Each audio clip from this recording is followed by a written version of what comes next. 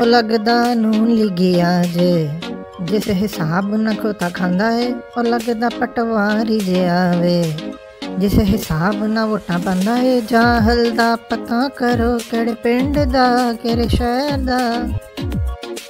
ਮਰੀਮ ਦਾ ਟੱਟ ਪੁੰਜੀਆ, ਨਵਾਜ਼ ਦਾ ਖੋਤਾ, ਸ਼ਕਲੋਂ ਮਰਾਸੀ ਲੱਗਦਾ।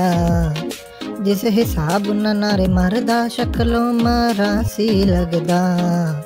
ਜਿਸ ਹਿਸਾਬ ਨਾਰੇ ਮਰਦਾ, ਖੋਤੇ ਤਾਂ ਪਤਾ ਕਰੋ ਕਿਹੜੇ ਪਿੰਡ ਦਾ ਕਿਹੜੇ ਹਲਕੇ ਦਾ। ਖੋਤਾ ਖਾ ਬੈਠਾ, ਵੋਟ ਗਵਾ ਬੈਠਾ, ਤਲਾਲ ਦਾ ਸਾਲਾ ਲੱਗਦਾ। ਜਿਸ ਹਿਸਾਬ ਨਾਲ ਗੱਲਾਂ ਕਰਦਾ ਦਾਨੀਆਲ ਨੂੰ ਅੱਬਾ ਕਹਿੰਦਾ।